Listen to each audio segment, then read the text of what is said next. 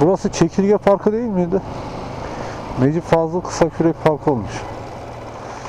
Ya da acaba öyleydi de biz küçükken burası Çekirge'de bulunuyor diye buraya Çekirge Parkı lakabını mı takmıştık?